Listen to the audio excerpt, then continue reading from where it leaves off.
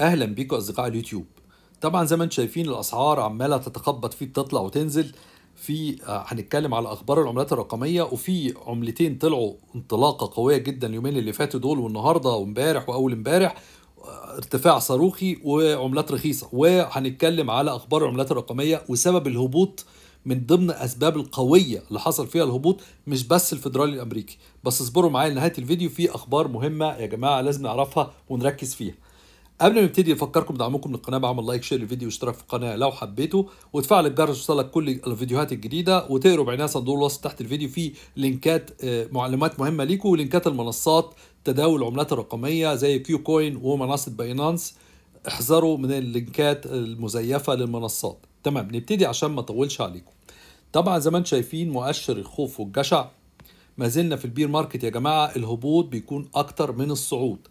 28 معنى كده إن في خوف حتى الآن واحتمال الخوف يقل ابتداء من بكرة احتمال. لسه هنشوف الوضع شكله عامل إزاي. إيه الأخبار بتاعة العملات؟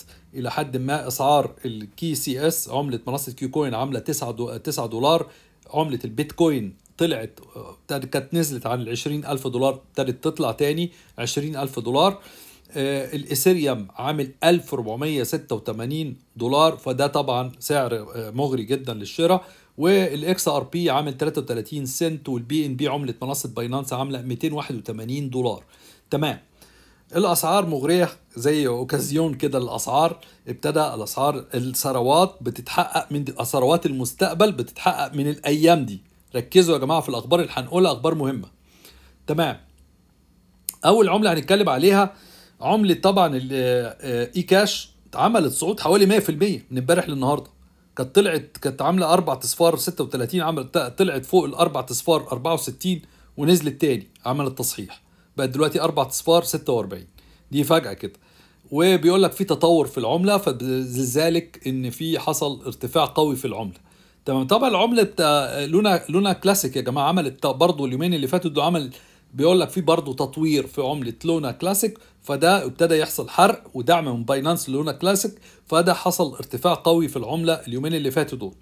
تمام دول عملتين هنتكلم فيهم. نتكلم بقى على الأخبار المهمة وإيه اللي بيحصل في السوق بالظبط وأول خبر بيتكلم على الخبر ده.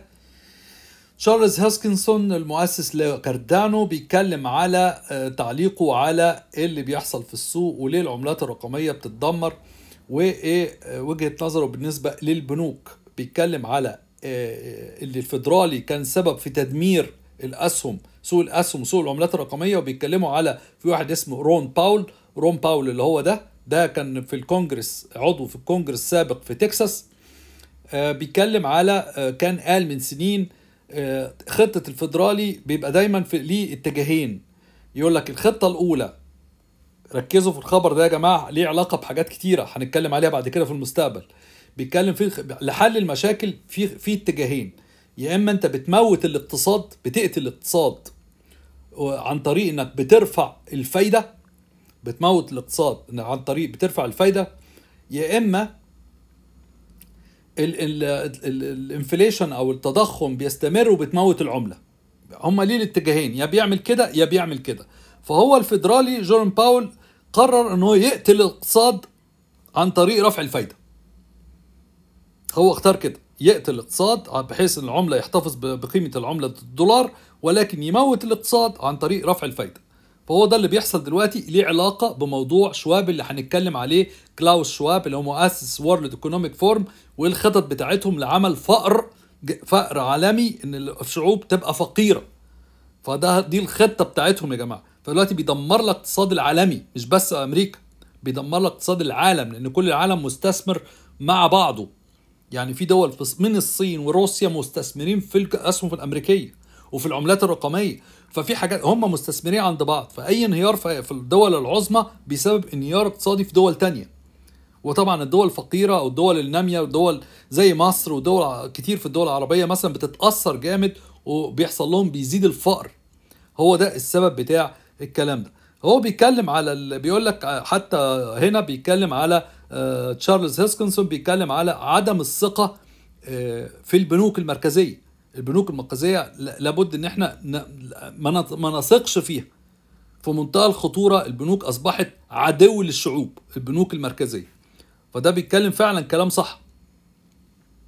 تعال نخش بقى في موضوع نتكلم في موضوع تاني بالنسبة ل آه، هنا كان XRP بيتكلموا هنا كان الفيديو ده بيقول لك إن الناس والشعوب هتعرف في المستقبل إن ال- ال SWIFT ده نظام فاشل وأحسن خلاص للعالم في موضوع الأموال والكلام ده عن طريق ال Ripple شركة الريبل وال XRP ده بيتكلم على كده المستقبل لشركة ال Ripple وال XRP تمام أنا مش بعمل دعاية يا جماعة بفلوس لحد أنا بقول لكم الأخبار بس شركة ال Ripple أخبارها كتيرة دايما. طيب الخبر ده آه بيتكلم على CZ Binance بيأكد تاني غير إن البيتكوين ب zero آه في- فيه بيتكلم على آه يعني عمولة بيتكلم على الايثيريوم zero للايثيريوم عن طريق ال BUSD عملة منصة Binance تمام الدولار اللي هو الثابتة يعني. ب- بتتعمل عملت بي يو اس دي واشتريت أو بعت ايثيريوم ال- ال- العمو- العمولة بتبقى zero. طيب نتكلم بقى على الخبر ده. كان في خبر ده كنا كلنا سمعنا عنه وإيه الأحداث بتاعته؟ ده كان سبب في هبوط العملات ال- البيتكوين وبالتالي رأس العملات الرقمية والبيتكوين. لما حصل انهيار في, في بسبب الإشاعات اللي حصلت. في إشاعة يعني الخبر ده عبارة عن بيقول لك في إشاعات حصلت و panic panic يعني паника بالروسي باللي هي بالعربي هلع عند الناس بسبب الخبر ده. فحصل هبوط في في البيتكوين وده أثر على بقية العملات الرقمية حصل لها هبوط أيضا. الخبر ده بيقول لك إيه؟ انهارت بورصة ماو- Mount آه، Gox مع مئات الآلاف من عملات بيتكوين منذ ما يقرب من عشر سنين. وبعد إجراء قانوني مطول للتعامل مع الأموال التي تم استر- استردادها لاحقا من البورصة أعلن أمين إعادة التأهيل المعين يوم 6 اللي هو اسمه آه، نوبواكي آه، كوباياشي يوم 6 يوليو أنه يست- يستعد لتسديد المدفوعين المدفوعات للدائنين. من البيتكوين. وفي في الوثائق في ذلك الوقت حدد كوباياشي نهاية أغسطس كفترة مرجعية قد تبدأ خلالها بعض المدفوعات الأولية وقد نص جزء منها على ما يلي. بعد المناقشات مع المحكمة وفقا لخطة إعادة التأهيل يخطط أمين عاد آه، إعادة التأهيل للتحديد التعيين وما إلى ذلك تكون الفترة المرجعية للقيود مع نهاية شهر أغسطس تقريبا. هما ال كان البيتكوين عند الناس متجمد عندهم كمية بيتكوين. وكان البيتكوين ساعتها من 10 سنين كان حوالي آه، 500 أقل من 500 دولار. ففجأة هيدوا الناس البيتكوين اللي كان محجوز. فكان في دفعة ب 137 ألف بيتكوين عايزين يطرحوها للناس. وكان ساعتها بخمس أقل من 500 دولار. فطبعا اللي هياخد البيتكوين حاليا هيبتدي يبيع على طول. بس في حاجات قالوها بقى المحللين وفهموا الكلام ده إن ده مش هيأثر على السوق. يعني في المحلل ده بيقول لك داني ديفن بيقول لك إن الكمية ال 137 ألف بيتكوين مش هيدوها مرة واحدة وهيدوها على دفعات. فدي مش هتأثر على السوق.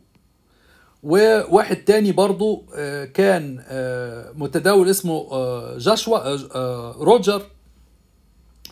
قال لك لو تم بيع المخزون الكامل من عملات بيتكوين للبورصة البائده دفعة واحدة فإن ضغط البيع الناتج لن يخلق نوعا من الأحداث المروعة التي تصورها البعض. يعني حتى لو حصل بيع جماعي للمبلغ ده مش هيسبب قوي بتأثير كبير قوي في السوق. تمام؟ وفي طبعا آه، المحلل المعروف اللي هو ده مايكل آه، مايكل آه، فان دي بوب بيقول لك هو أحد المساهمين في, برضه في في, ال في الكلام ده بقى في بيقول لك إن الخوف من إطلاق عملات بيتكوين الخاصة ب Mount Gox ليس لدي ما يبررها على الأرجح. يعني بيقول لك ما فيش خوف يعني ما فيش حاجة تستدعي الخوف ده يا جماعة. وبعدين حتى هو بيقول لك هنا بيقول لك برضه نفسه مايكل فان دي بوب بيقول لك أجلوا آه، تسليم الناس البيتكوين.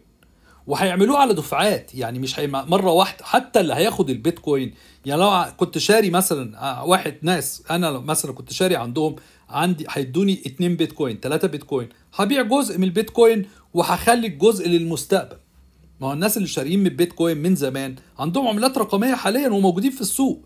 هو عارفين إن البيتكوين هيغلى فهم مش هيبيعوا البيتكوين اللي عندهم. في ناس هتحتفظ بالبيتكوين لما يغلى عشان يبيعوه يعملوا جني أرباح.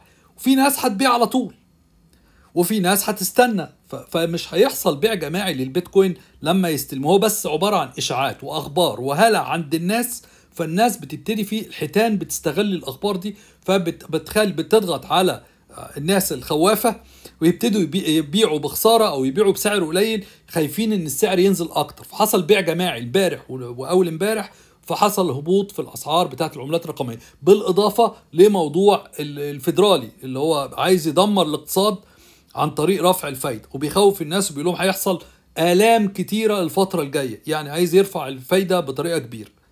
فده ده مع ده أثر في هبوط جماعي للعملات الرقمية فده اللي حصل اليومين اللي فاتوا دول. أنا بقول إن هو الصبر اللي هيصبر هو اللي هيفوز في المستقبل لأن بمجرد ما هنخرج من البير ماركت الأسعار هتولع أكتر من الأول بكتير. غير إن حتى الفترة دي عقبال ما بس يطلعوا نسب نسب الفايدة دي يرفعوها كذا مرة والسوق يبتدي يستقر هتبتدي الأسعار تتحسن. حتى لو إحنا في bear market. بس بمجرد ما نخرج من ال bear market وأنا أعتقد إن السنة الجديدة سنة 2023 هيبتدي نخرج من ال bear market. أنا أعتقد نهاية العام أو أول العام الجديد على مارس بالكتير هنكون خرجنا أعتقد. دي وجهة نظر شخصية ممكن أكون غلطان. ممكن نكون خرجنا من ال bear market هتبتدي الأسعار تعمل ارتفاعات قوية جدا ونعمل كلنا جري جني أرباح قوي جدا. بس أهم حاجة نصبر يا جماعة الصبر دايما خير. أنا آسف أنا طولت عليكم بس قلت أطمنكم. فعلا الأخبار اللي أنا شايفها جيدة والتحليلات بتاعت المحللين جيدين جدا. فده بيدينا أمل دايما إن إحنا نصبر ونستثمر أكتر وندعم محافظنا أكتر لما بيحصل هبوط في الأسعار. النهارده في ابتدت الأسعار ترتفع بس خلي بالكم الهبوط الصعود ده صعود الويك إند عطلة نهاية الأسبوع. أنا ما باخدش دايما بعطلة نهاية الأسبوع عشان ممكن يبقى في ارتفاع كاذب أو هبوط كاذب.